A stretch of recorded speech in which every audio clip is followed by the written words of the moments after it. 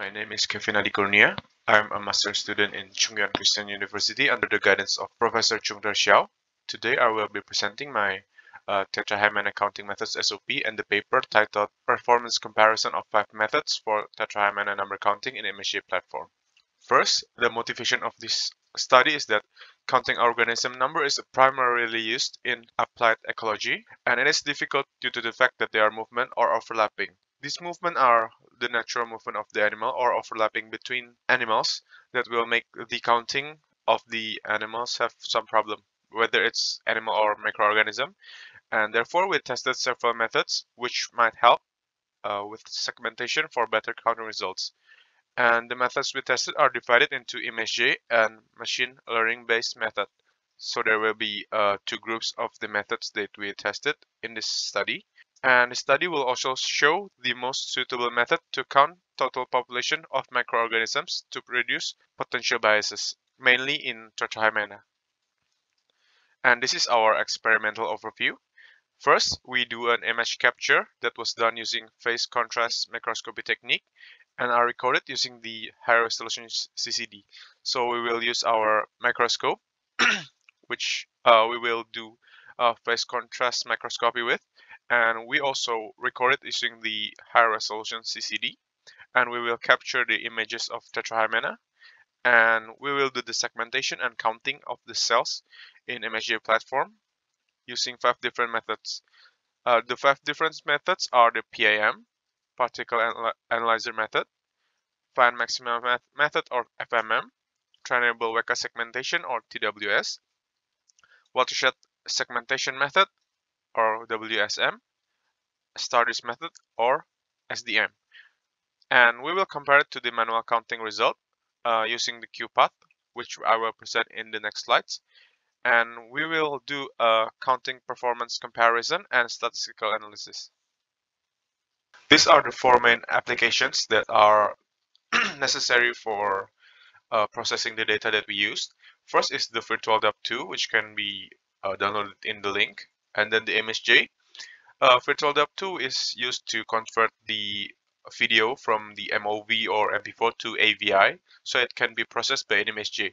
And we use the ImageJ Fiji build because it has a wide variety of tools that are already installed, so we don't need to install uh, other tools except if it is necessary. And the next one is the QuPath uh, 0.2.3. We use this to annotate the cells because it's easier to annotate it uh, using QuPath rather than Fiji. And it can also be used to uh, annotate for images for training in the StarDist and then the final one is the Anaconda. So for the Anaconda is used for uh, StarDist training.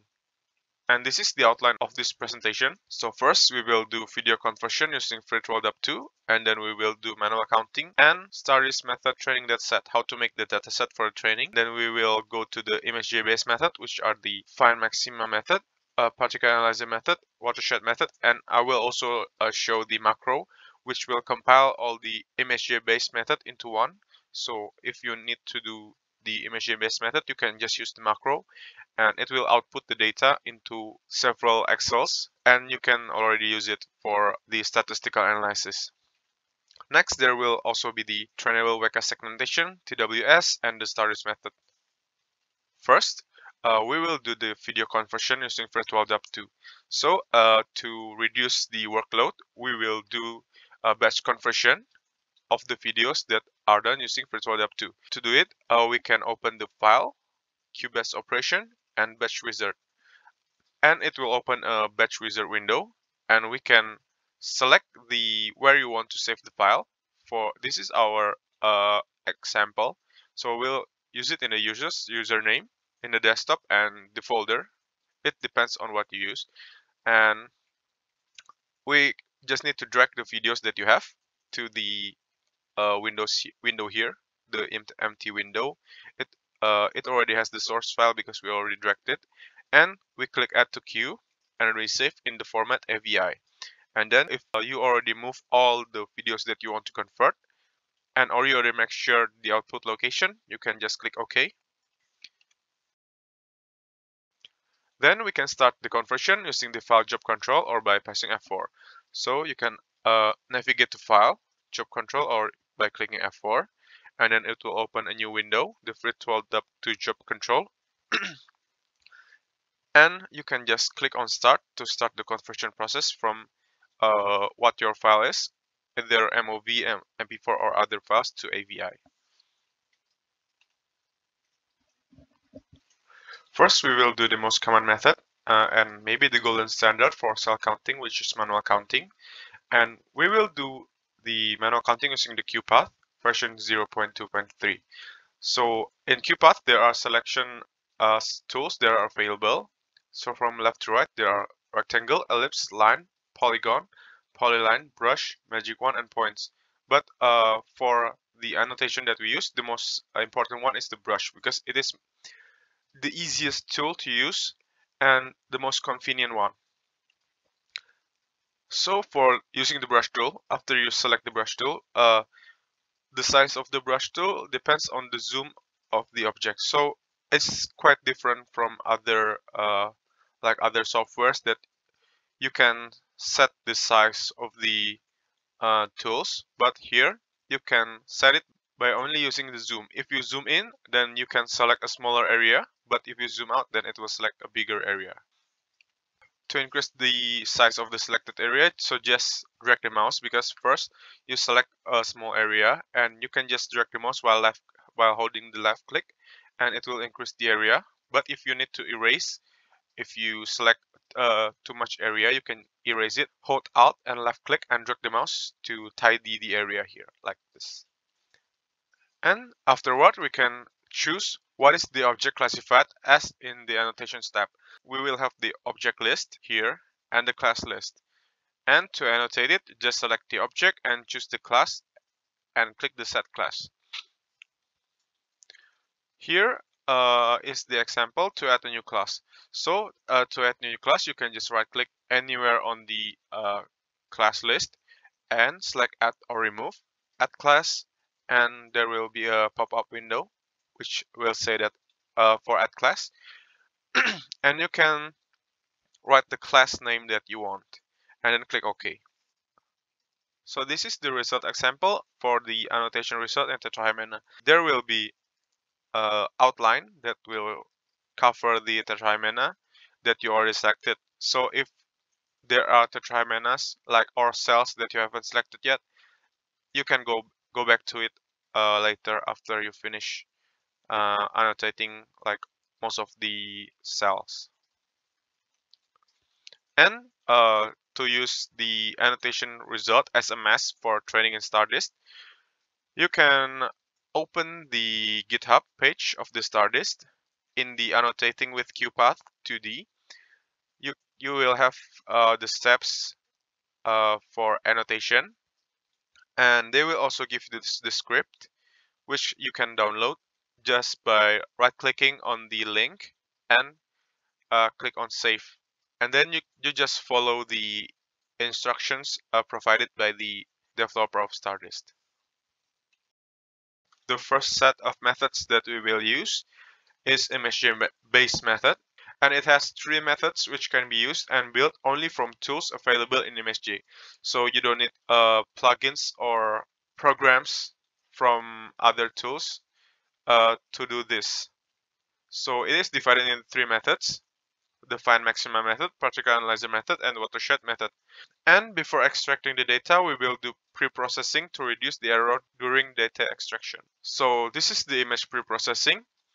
First, we will do enhanced contrast to make the images have the same color or contrast using the enhanced contrast tool. This is the enhanced contrast. You can tick the equalize histogram box and process all 10 slices box. And uh, here is the example for original image. Here, there will be some different colors, but after uh, enhanced contrast, the color will not be significantly different. Next, uh, for the image preprocessing, we will do thresholding using the image adjust threshold and particle analysis using analyze analyze particles to make the mask of the images.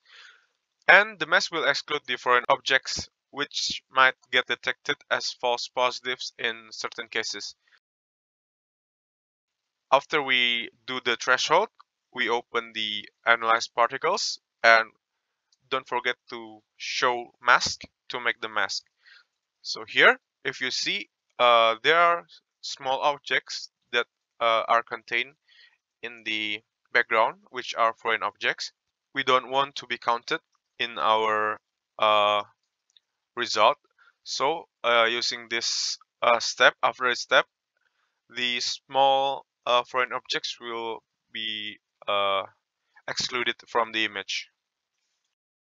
We use the find maxima method. We use the find maxima tool located in process and find maxima, uh, which are available in ImageJ. So we use the uh, mask and then we navigate to the process and find maxima and it will open the new window like this one here.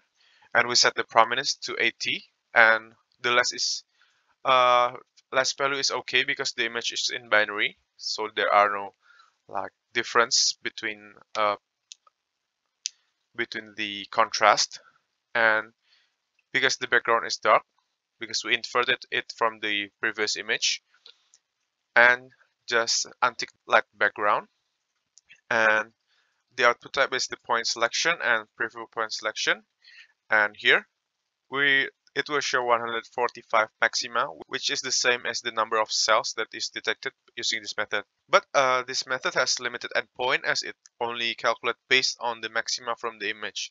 So it doesn't calculate the area of the cells that are being detected here next is the particle analyzer method for this method, we just rerun the threshold and analyze particle step after the pre-processing.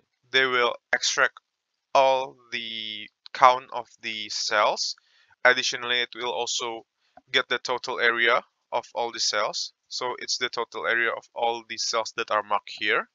And we also get the average size of these cells.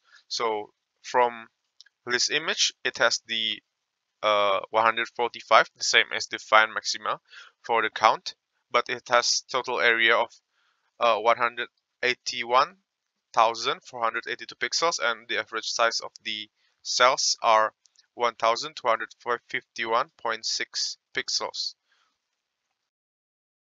The final method for the uh, ImageJ-based method is the watershed method. Uh, for this method, we will apply a watershed algorithm which are available in ImageJ from the process, binary, and watershed. After you click the watershed, it will automatically apply the, the algorithm and you cannot set uh, any parameters. This algorithm will split overlapping cells in order to count more accurately. So like several cells, like if they are being overlapping, sometimes they will count be count as one by using the two previous methods. But by applying the watershed algorithm, it will be uh, split and be, can be counted as two cells. So here we see the count is around 156. The total area is uh, relatively smaller, around 181,217 pixel. But the average size is around 1,161.647 pixels. Then to encompass all the uh, ImageJ-based method from find maximum method, particle analyzer method, and watershed method, we provided a macro to simultaneously create and save the result of all three ImageJ-based methods as several Excel files. This is the macro that we provided for the ImageJ-based method which encompasses all the method. Parameters in red can be edited according to the necessity. It depends on the size of the cells for the analyzed particles right here and here. And the strings in blue can be edited according to the save path preference. Uh, for our preference, we saved it in the desktop and the name of the file is the particle analyzer result for the PAM. And next, uh, we also saved it as find maximum result for the FMM and watershed result as the uh, watershed. Here, we set the prominence to 50. There will be no difference between the prominence 80 to 50 as long as the image is binary. But if you use unprocessed image, because we do pre-processing, if you don't do the pre-processing, then the prominence will have effect.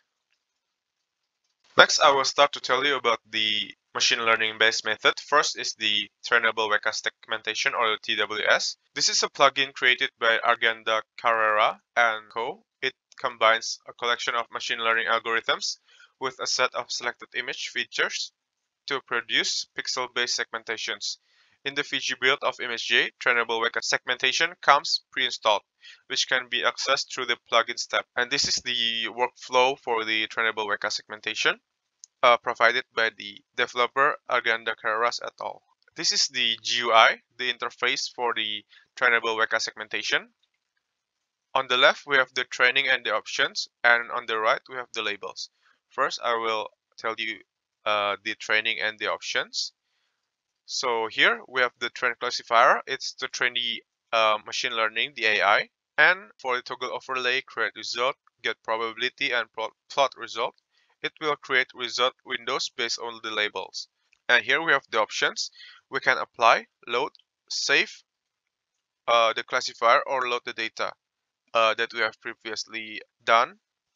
And we can load the classifier to use the previous classifier that we trained for our current image or save the classifier that we train for future image and uh, apply classifier to apply the classifier we, we already load to our current image.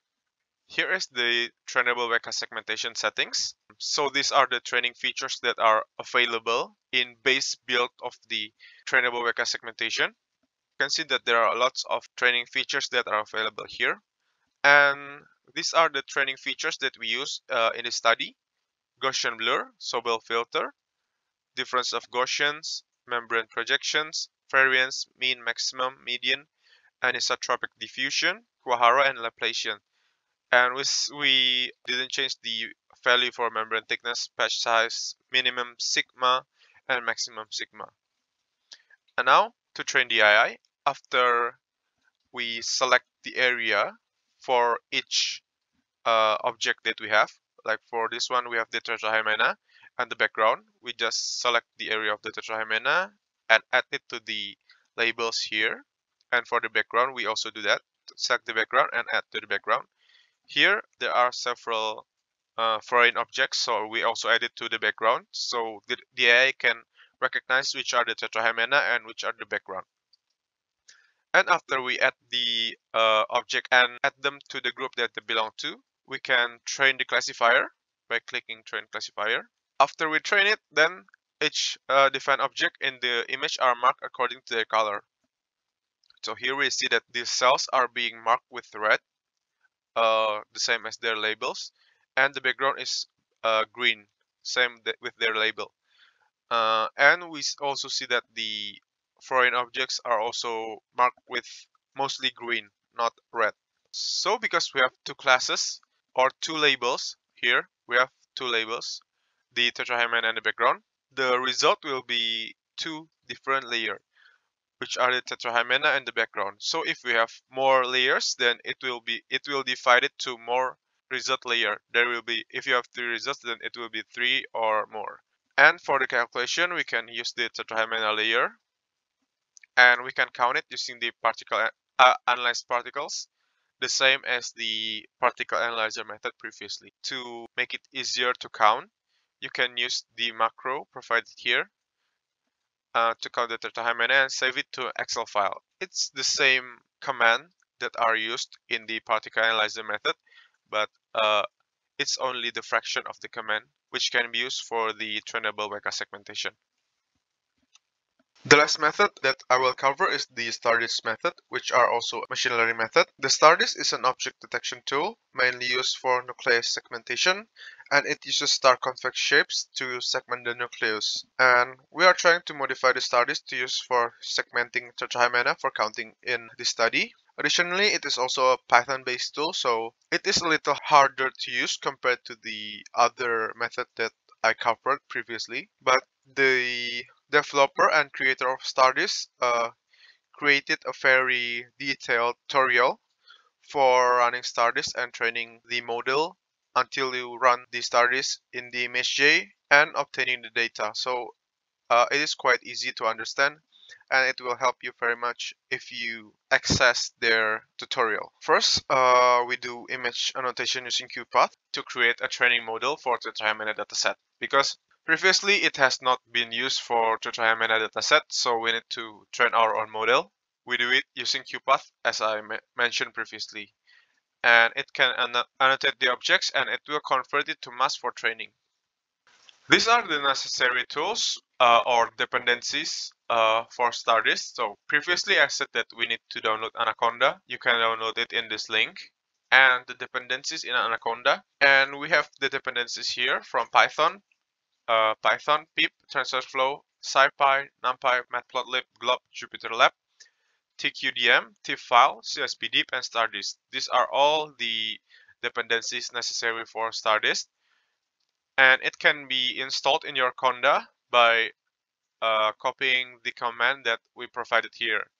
And please just follow the version that we already provided for the Python and TensorFlow. If you use a newer TensorFlow or Python, it can uh, make a problem with the training uh, process. And next, we also need to install the Stardist in ImageJ. Using the plugins, uh, you can access the tutorial how to install the Stardist here and their ImageJ page. Now to train the Stardist model for Tetrahymena accounting, we use a Jupyter Notebook which are provided by Schmidt et al uh, the developer of Stardist, and it can be accessed from their GitHub page or the link that we provide here. The steps are defined by the developer in the Jupyter Lab, and we just need to copy and paste the script to our own Jupyter Lab and run the script. Uh, there are several strings that needs to be changed according to file location that we have, and several other parameters, but it it was also mentioned by the uh, developer. Uh, for example, this is the graphical user interface of the Jupyter Lab and we can we just copy it uh, copy the strings that are provided by the developer here in the empty box and click run and it will show another one and just copy it again and add your file path and run it run it and keep running according to their tutorial and their explanation afterwards uh, we need to uh, run this uh, command to export the TensorFlow model for use in ImageJ Fiji build.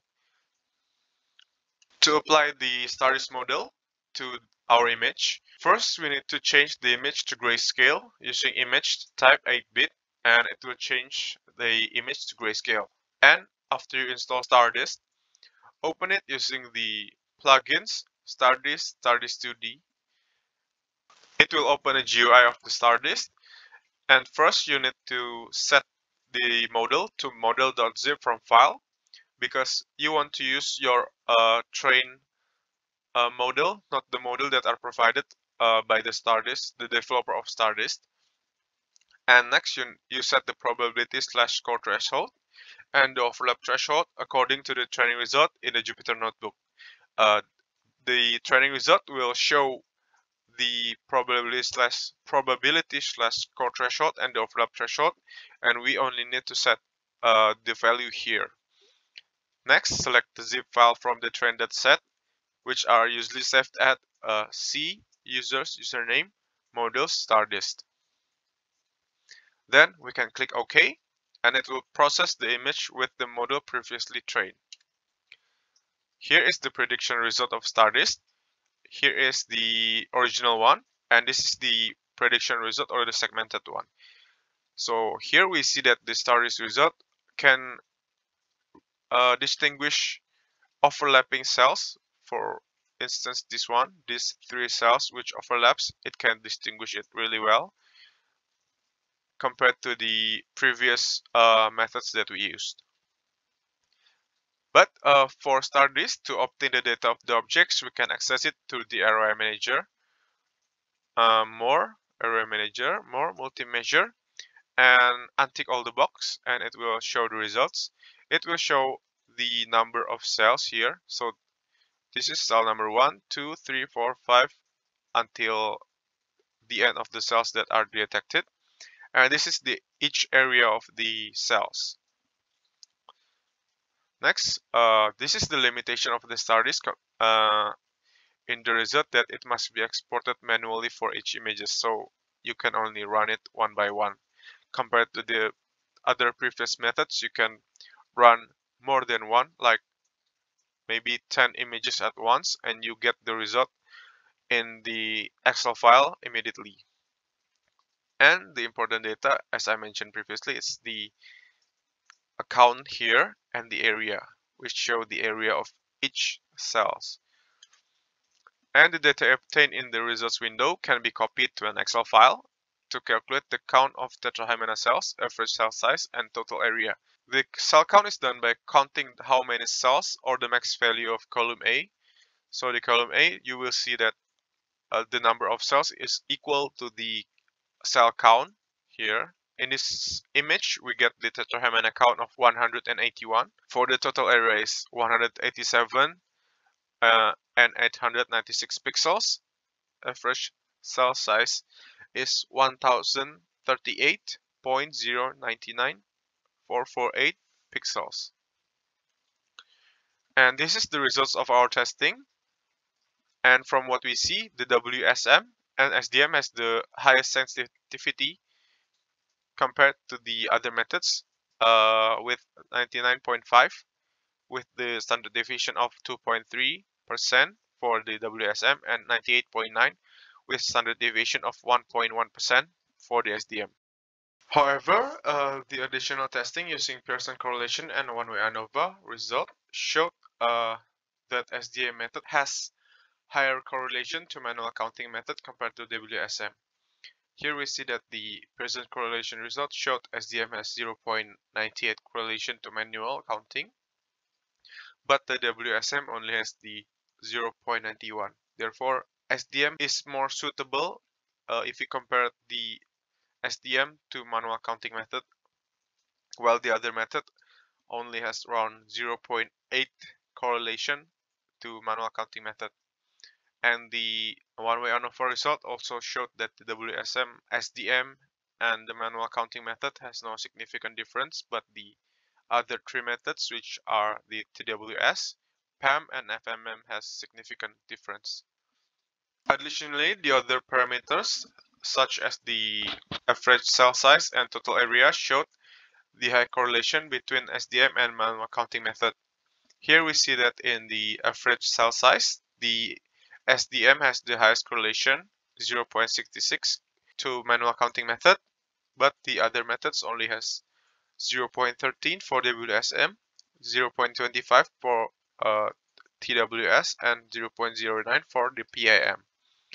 The FMM is not mentioned here because it can only count the cells and it cannot count the cell size. But uh, if we see on the one-way ANOVA, there are no significant difference between the manual counting, SDM, and WSM, but uh, there are significant difference to the TWS and PAM.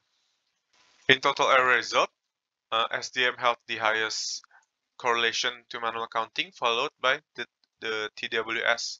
SDM has a correlation of 0.8, while the TWS has a correlation of 0.62 and the WSM and PAM has relatively lower correlation which are 0.35 and 0.41 respectively. But in the one-way ANOVA result, there are no significant difference between all the methods except for the SDM and TWS which are significantly different. And unlike uh, the result in average cell size, uh, this result may be caused due to the number of cell count of the TWS which are uh, relatively lower compared to the other methods. And these are the conclusion of the study. After we tested the five methods for cell detection, which are divided into two categories, ImageJ-based and machine learning-based methods, it showed that the ImageJ-based method has better workflow compared to machine learning-based methods due to its simplicity and its implementation in ImageJ. But uh, the machine learning based method, which is SDM, has better result compared to all the methods that we have tested in the study. And we are able to provide uh, five methods and their working procedure for Tetrahymena cell counting. And users can choose which methods to use according to their necessities. And as we mentioned, the best result that we recommend is by using StarDist. Thank you for listening to my presentation on this study.